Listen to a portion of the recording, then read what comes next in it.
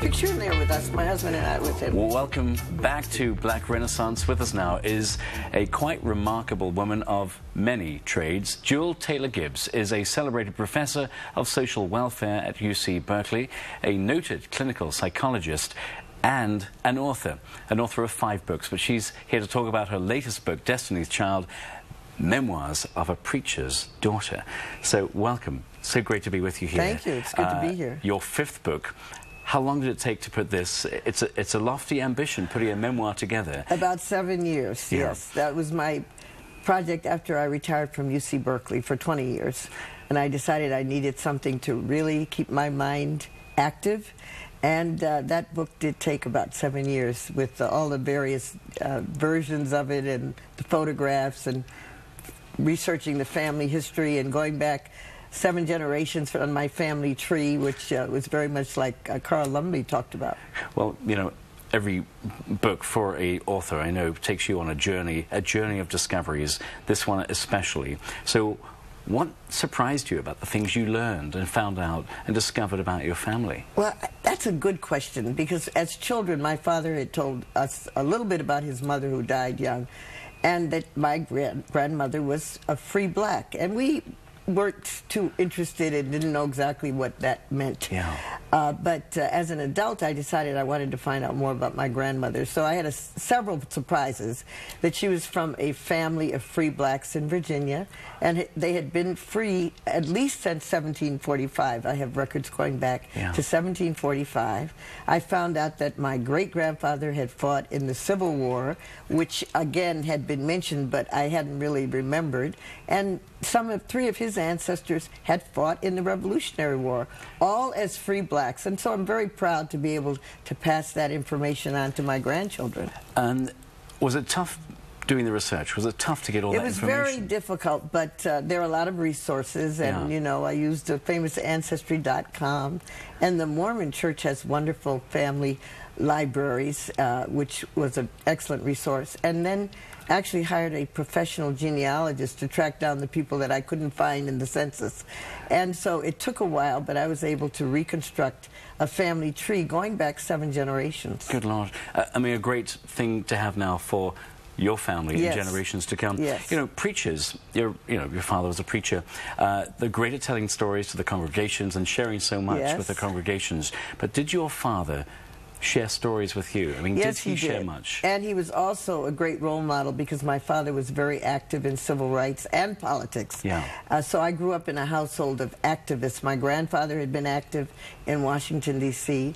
My father was in Connecticut, vice chair of the Connecticut Democratic Party uh, worked for all the presidents since uh, Roosevelt.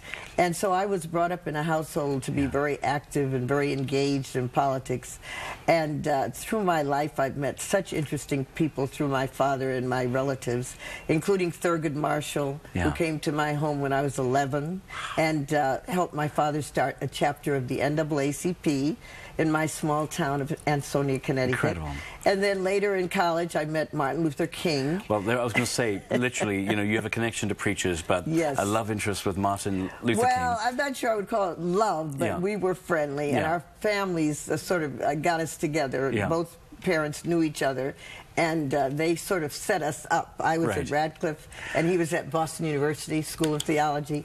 So we dated for several months, but uh, Mainly, he took me to church, and after a while, I said, "You know, Martin, if we're going to continue to see each other, let's do something fun, like a movie, sure, or a party." So, did you so, never uh, did you never get to go to the movies with yes, Yes, I did, I did, and uh, then uh, this uh, relationship lasted about three months, and then I met another young man, and about the same time, he met Coretta. So we continued our friendship. Uh, yeah. he married uh, soon, about a year later, but we continued our friendship until he died. I have to ask you about the movie Selma, an extraordinary piece of work. Mm -hmm. uh, to watch that film, because you know and knew so many of those characters, how was that as a piece of filmmaking for you to sit back and see part of your story and the story of those you know on screen? It was very emotional because my father knew many of the older ministers and I knew some of the younger yeah. ministers.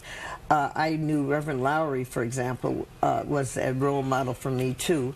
And I knew Reverend C.T. Vivian, I knew uh, Reverend Andrew Young.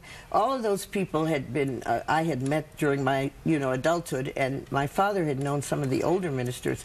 So it was very emotional seeing that film and sort of reliving that history for me and, my, and for my husband. Yeah, and of course, David Oyelowo should have been nominated, in my opinion, for an Oscar. Uh, he was so incredible mm -hmm. as MLK. Mm -hmm. For you, as someone who did know Martin Luther King. How was his performance? I thought he was quite good, and he reminded me a lot of the young Martin that I knew. And uh, the uh, woman reminded me a lot, his wife, of Coretta. She looked very much like Coretta when I knew them, and they were quite young when I met them. Both were graduate students. Yeah. So it brought a lot back to me. A lot of happy memories. And, and you grew up where?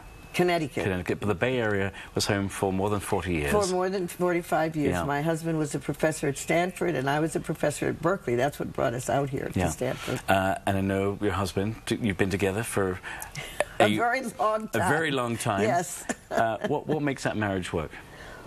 I think that I always say you have to have uh, several things in a marriage. You really have to be able to communicate, you have to be able to cooperate, and you have to be able to uh, really find ways of letting each person be his or herself. Yeah. And uh, to be able to manage conflict mm -hmm. well. And I think we've been able to do those things. Uh, your book shares the history of your family, uh, but part of your history and your story uh, is what's happened in the re in recent years. Mm -hmm. President Obama becoming uh, president, and you were there for both inaugurations, correct? Yes. Well, the first one. My son was very active in the campaign, yeah. and he enlisted us to help raise money for uh, President Obama. So when they had the first inauguration, all there were in my family two sons who worked for the campaign. My husband and I raised money, and uh, we even took our little grandson who was not quite two, so we had a wonderful time. Thank you for your time. Thank you for watching. Uh, for more on all our guests here today, uh, please go to our website, cbssf.com.